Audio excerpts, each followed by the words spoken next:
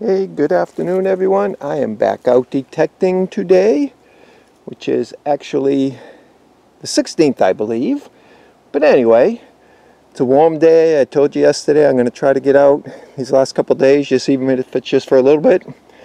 And um, I'm actually, there's the road I walk in on, and I'm just going to come right in along this area. This is where I got the button yesterday up in this area and I'm going to try to stay right close to the road.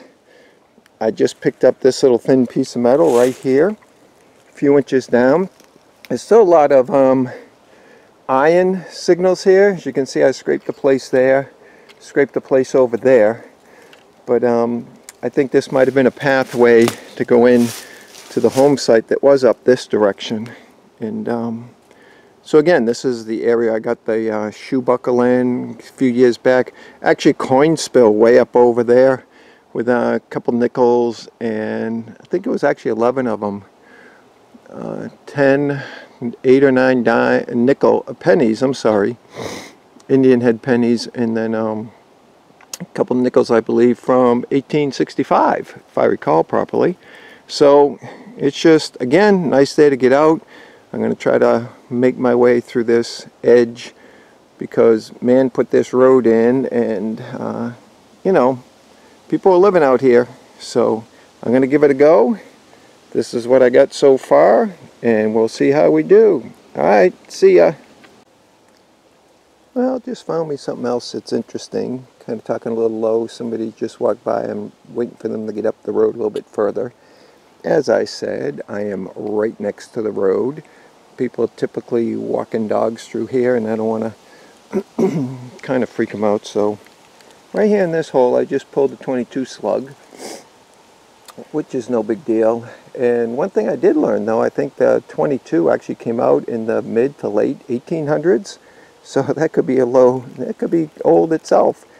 And then I got another signal right next to it as you can see. Foot away. Yeah just my foot.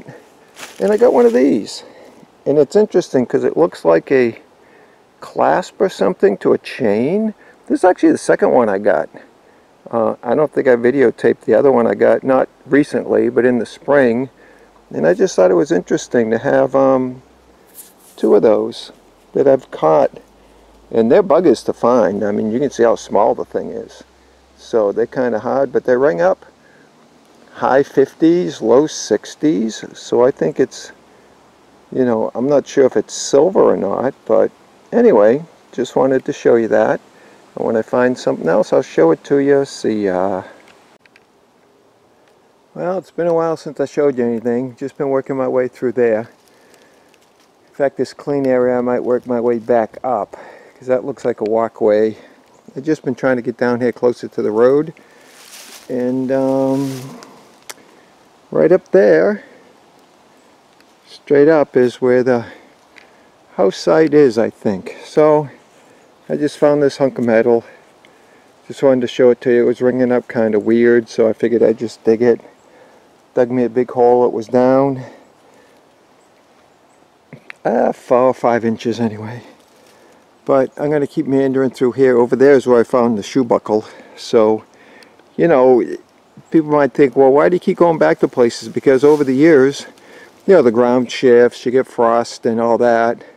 Ground dynamics change, uh, you know, wet, dry, that type of thing. So, doesn't hurt to go back and hit your old sites like I did yesterday and found me a button.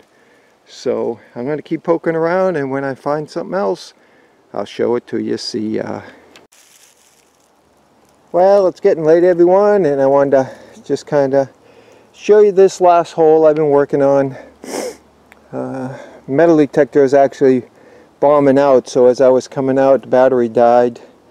And as I was coming out I wanted to find this hole because see this hole right here? Two years ago maybe not two years ago maybe last year I forget. But anyway started digging this hole. It was coming up with a 72 78 nice high numbers. So I want to show you where I had to dig this. I had to dig around that root, that root, this root, way down in there. I don't think you can see it real well. Way at the bottom, there's another root right in the middle. Two, right there. So I had to get under that, under that, all around this. Like I said, last year I was digging it and I quit. Yesterday I actually came by the hole, saw it, started working on it a little bit, quit. But this was the thing that was under there, piece of flashing. But see, you never know, because that could have been a coin, it could have been a large cent, and you just got to dig them out. So that's what metal detecting is about. Don't quit, don't give up, even if it's way down in that root mess. Just do the best you can with what you got, because one day you're going to pull that large cent out. Alright, so that's going to be it for today. Going to make my way out, and uh, wasn't that great of a day, so probably won't do a tailgate wrap up. This will probably be my last my last slide. So anyway, I'm going to charge the batteries up in the metal detector. Hopefully get out tomorrow maybe. I don't know, honestly. But um, that might be it. So, all right. Just wanted to show you that. Never give up. See ya.